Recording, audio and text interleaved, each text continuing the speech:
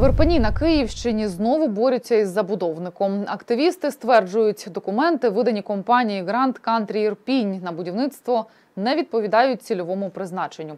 Міський голова Олександр Маркушин, щоб виправдати забудовника, зібрав усіх за круглим столом. Про що йшлося і чим все закінчилося, знають наші кореспонденти. Проблема незаконної тотальної забудови не нова для престоличного Єрпеня. Громадські активісти кажуть, чимало новобудов зводять з порушенням закону, а міська влада заплющує на це очі чи навіть сприяє оборудкам недобросовісних забудовників. Цього разу йдеться про компанію Grand Country Ірпінь. Вона почала будувати житловий комплекс. А в дозвільних документах йдеться про реконструкцію дачного будинку, якого ніколи не існувало. Ми перевіряли знімки з супутника. Ми дивилися, ніколи там цього дачного будинку, чи можливо навіть е, фундаменту під дачний будинок, його ніколи не було. На місці будівництва Grand Country Ірпінь вже встигли зрізати сотню дерев, а паспорт об'єкта й досі не вивісили. Натомість чиновники кажуть, активісти зводять наклеп на забудовника. Ба більше у законодавстві немає терміну незаконна забудова.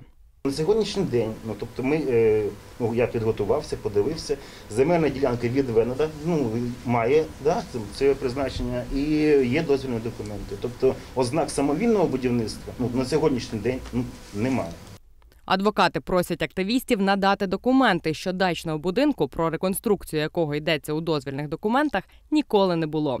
Місцеві одразу ж підтверджують слова активістів. Пане Ігор, е, ви, ну, ви, ви, ви вже дуже довго проживаєте в місті, все життя. так? Е, Скажіть, був там дачний будинок в цьому місці чи не було?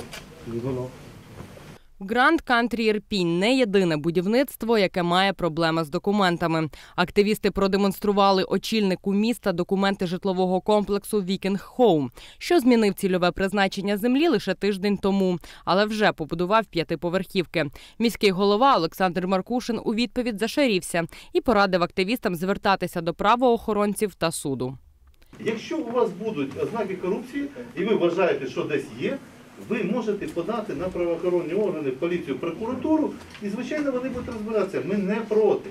Тобто, будь ласка, подавайте. Але по цьому будівництву на сьогоднішній день всі документи на 100% є і вони в повному порядку. Відмовилися у мерії й надати документи. Тож активісти з круглого столу виходять невдоволені. кажуть, поки триватимуть суди, житловий комплекс встигнуть добудувати. Пан мер е, запросив дуже велику кількість там експертів, інспектора з ДАБІ, юриста. І ці люди просто не відповідали на питання, а задавали мені нові питання. А на всі поставлені мною питання вони так і не відповіли. Бо всі чудово розуміють, що це саме звичайна схема. І я навів безліч прикладів сьогодні, де також задіювали е, ветеранів бойових дій. І на цьому на цій почві маніпулювали законністю даного об'єкту. Активісти обіцяють, рук не складатимуть, стукатимуть у всі інстанції, аби зупинити незаконне будівництво. Анна Мельниченко, Кирило Шапарь. Новини Правда тут.